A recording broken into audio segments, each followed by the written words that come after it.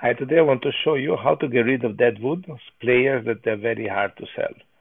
Okay, so in my first team I still got two and I want to get rid of. The first one is actually quite good.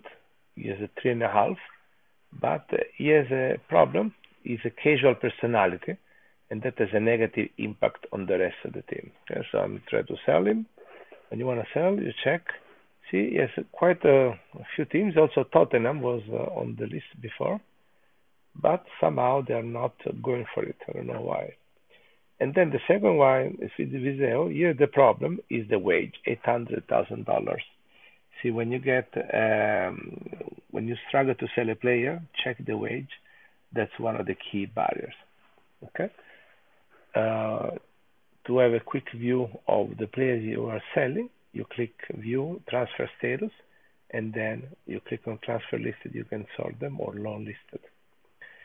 So then you try, first of all, try to offer it at a lower value and then you try to negotiate a bit. and then I do the same with Viseu. but then, beside the try to transfer listed, try also to loan listed it's easier to sell a dead wood via loan than via transfer. I recommend transfer for the high price player like this one, 12 million. Via loan, you end up uh, selling it at 50, 70% of the face value. So quite a discount, but still you get rid of it. And so what you do, you offer a transfer, but then you also offer it for loan. And then you wait. I go in my reserve team. I have a few more players I want to get rid of. And so again, for this one, I go straight for loan. it will be easier. And given the smaller cost, I don't mind. You know, I buy, I have a roster of 80, 80 players. and I made so much money out of many of them that I can afford a few hiccups and few losses. Okay, so we're gonna get rid of all those.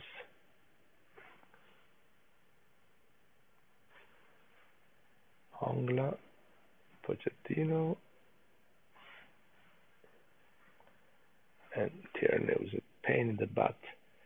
Screwing up my dressing room. Okay, then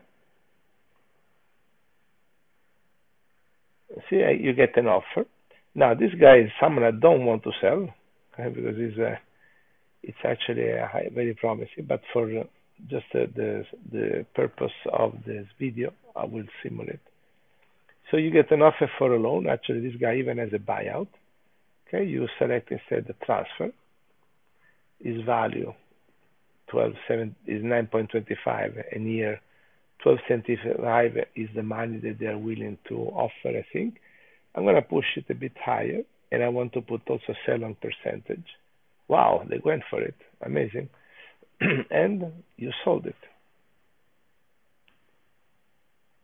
Then, oh, by the way, I got an, another offer. Okay, let's do the same.